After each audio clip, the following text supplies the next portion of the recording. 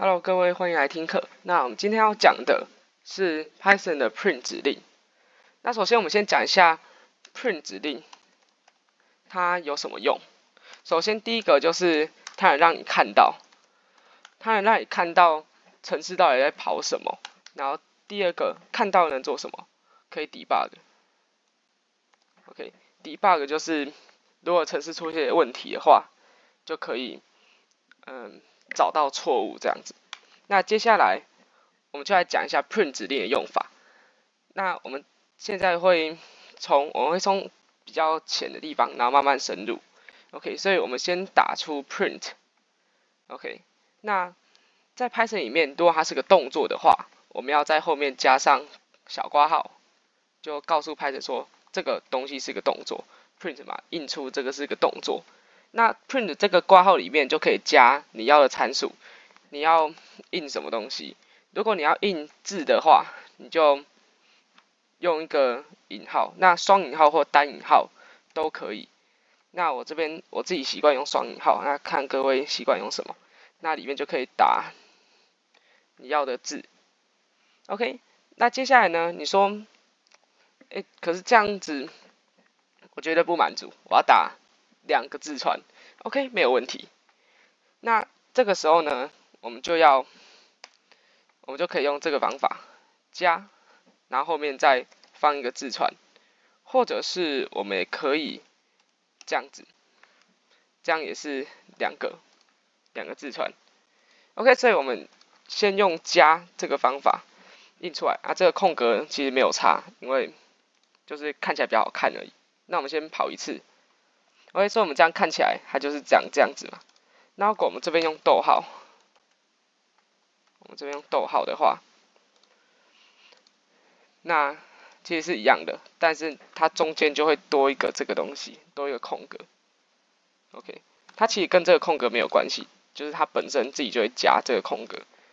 OK，那接下来呢，我们来讲一下 print。到后面我们会用一个东西叫变数来储存我们写程式的时候的一些资料。那这个时候我们就用到一种字串叫做 f 字串。OK，f 字串怎么用呢？就是先打一个 f，然后一样引号。那这边引号、双引号、单引号都可以。然后记得就是一定要成对。OK，然后引号里面你就可以先打说任何的文字。然后接下来呢？当你想要，当你想要变数的时候，比如说，我有这边有一个变数叫 a 等于一，好，这边我之后会再讲，就是我先把 a 指定为一，OK，a 指定为一，然后接下来我要在中间再插入一个值，再插入一个变数，那这时候我就用大括号，OK，大括号里面要放什么就放我的变数，所以变数放进来 a，然后后面一样你可以加任何东西。或是不加也可以。那比如说这样子，我们执行一次，那我就可以看到这边前面是我们的这个字串嘛，然后后面是我们 a 的值，就是现在是一，然后后面是就是最后的这些字串。那前面不加也可以，然后什么都不加也可以，只加在前面也可以，就是只要有这个东西都可以。那接下来，f 字串还有另外的写法，就是一样，你先把它弄一个引号起来，然后打一些东西。接下来呢，你就放一个大大括号，然后里面放你的那个，里面放你的变数。啊，这个名字就自己取，你取一个 b 也没有关系。然后呢，后面我们就要放点 format，然后点 format 里面我们就要指定。先打这个你原本给它的名字，所以叫做 b，然后会等于 a，这样子。OK，那我们执行一次哦。OK，所以我们就可以看到这边是我们前面的字，后面就是我们的 a。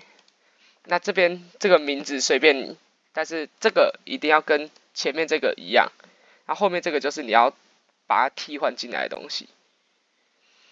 那接下来我们来讲一下，你说 print，哎，print 是不是每次都会换行？这样真的很烦。那很烦，要怎么办？